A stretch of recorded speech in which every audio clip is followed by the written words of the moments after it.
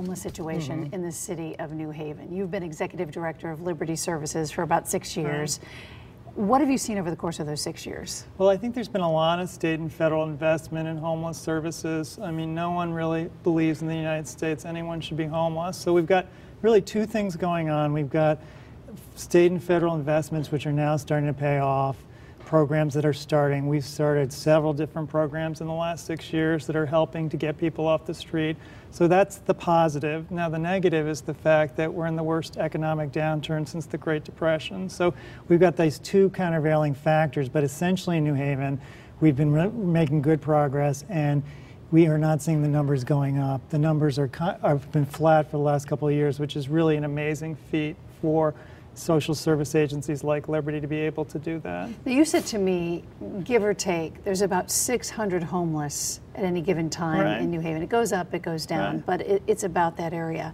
Who is the typical client that Liberty Services serves? Okay, well, that's a very good question because actually, when you talk about people who are homeless, there's a spectrum. There are people who have been hurt economically, who have, you know, been in, say, a house that's been foreclosed or an apartment that's been foreclosed.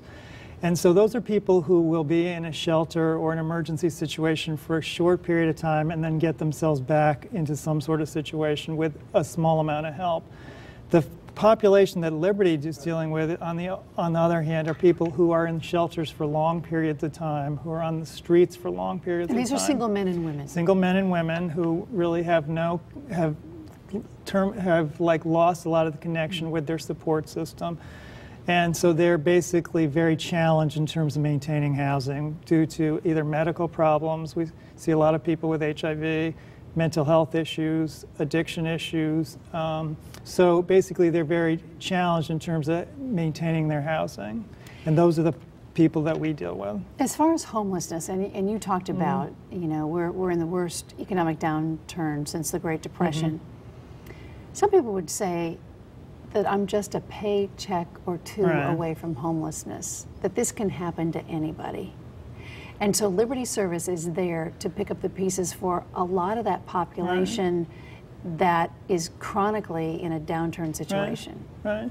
I mean, it really can happen to anybody because it's a, you know, a medical problem and a mental health problem that's untreated. Really, I mean, it can affect anybody. And we have people in our program who have come from wealthy families. People have That's come from point. You think dire it can't poverty. Happen to you, yeah, but it can. It can, and so you need. I mean, and, and each person really has their own kind of unique solution to this. Some people need a ton of support. They need to see someone maybe weekly, daily in some cases to make sure that they're keeping their finances together, that they're seeking treatment, that they're you know, trying to connect with the services that are available to them, that they're not isolated. And then other people, as I said, it's just, it's a temporary situation that they will never be homeless again and they just needed a little bit of help, a couple months rent, to get back into a um, permanent situation. Are we helping folks with mental illness enough? Do we need more services in this state? Well, I think that we have good services in, in the state of Connecticut. I think we are, you know, blessed to be in a state that really has invested in that. I mean, I think again, it's individual by individual. Some people really, I think a lot of people that we see have probably not been aware of the problem until it became so significant they couldn't avoid it. I mean, mm-hmm. I've heard people say, you know, I really didn't know my situation. I didn't seek out help until I was really on the street. So I think it's there, but I think the challenge is having people choose to access it. Um, there's still a lot of stigma about seeking mental health treatment, um, despite. And why is that? Um, I mean, we, you know, here we have a situation that happened in Newtown, right. and apparently there was some mental illness there. Right. We've got to identify these people and get them help. Right.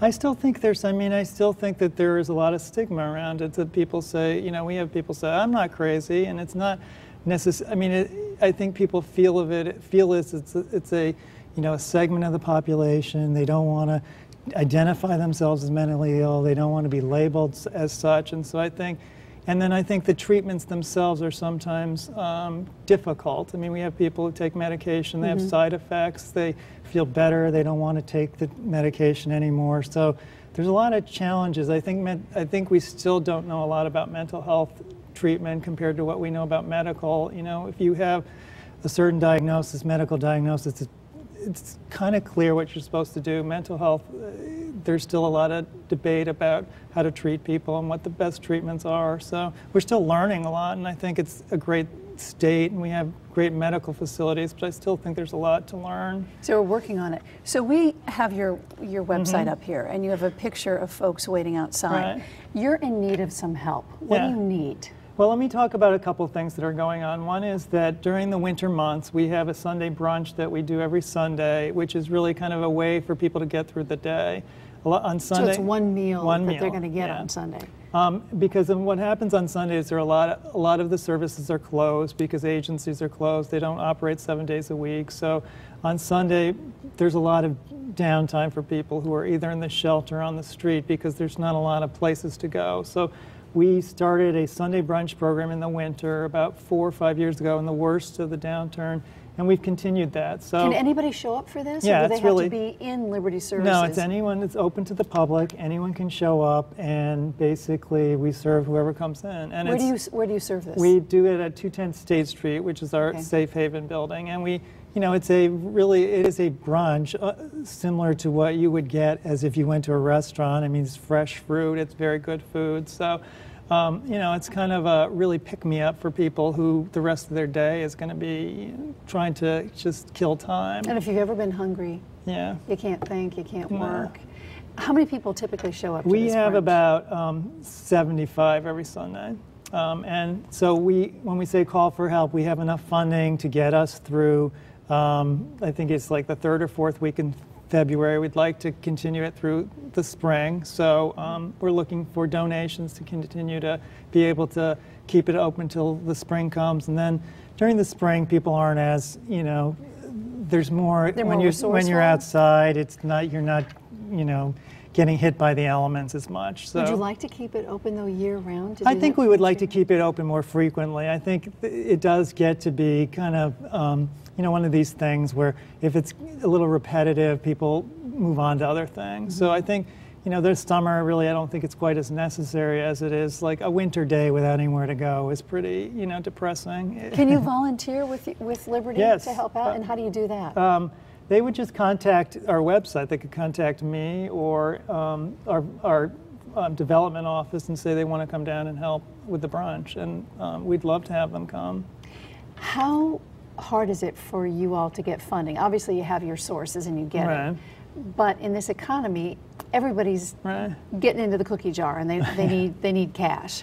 So what's the best way to help Liberty so that they can help somebody that's on the streets? Well, I think the thing is, so we have the, again, a donation for that would be great. We have, as the website says, we have a cut-a-thon, which is uh, sponsored by the Ramage Salon up on Chapel Street, and the stylists are donating their afternoon. So we have haircuts, chair massages, and so that's a fun way to kind of spend an afternoon, and the don- and all the donations come to us.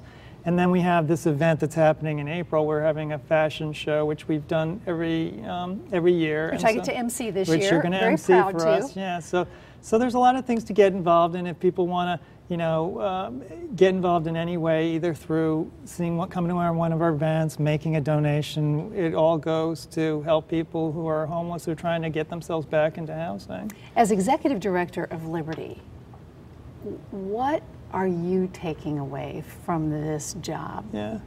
Well, I, you know, it's been really an eye opening experience for me. I grew up in New Haven. I uh, went here t- to school. So, you know, I really felt like I knew what New Haven was, but I was in a different field for 20 years. I was in the healthcare field.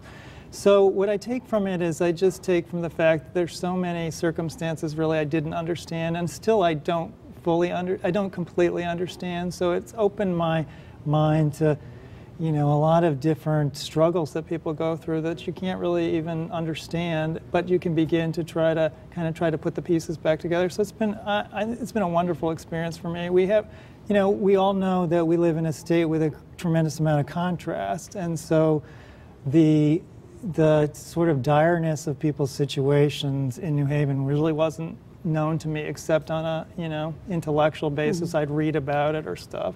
So it's been really a fascinating journey for me to kind of be able to um, in, be involved in this work. And I think New Haven is a great place. We have a lot of great social service agencies.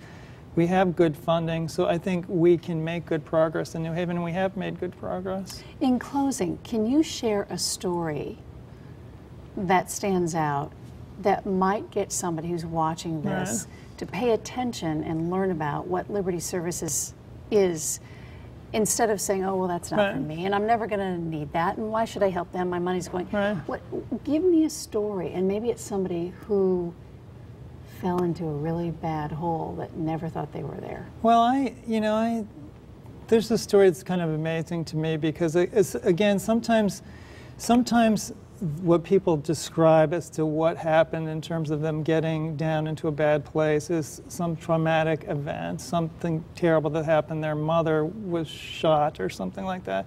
And then sometimes it's more a general, they just fell in with the wrong circle. And I remember we have an indivi- we had an individual who I remember talking about and saying, well, how come he grew up in New Haven and he had a serious heroin addiction for 15 years. And, you know, I think people, there's a lot of kind of, uh, I don't know, um, there's a lot of, could someone actually, after having that, turn their life around? And the answer was yes, because he basically decided at one point he didn't want to do this anymore. He lived in one of our programs uh, for a couple of years, and then he moved on to another program where he was employed. He got a part-time job.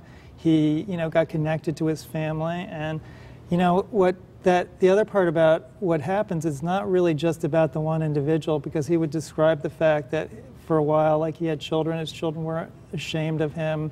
They were disconnected from him. And now like he's enabled he's able to bring a lot of positive to people's lives. He's, he was reconnected with his mother who you know he never could he, he never he, he felt such shame because he had stolen from her and now he's reconnected with her so it really it doesn't the individual affects the whole community the whole community when someone does positive things and shows positivity in their life it really reverberates and so when you can help someone turn their life around it, it affects a lot more people than just that person John Bradley, thanks very much No, for thanks. coming on. Thanks I for appreciate having it. Looking forward to working yeah with you. great Thanks. yeah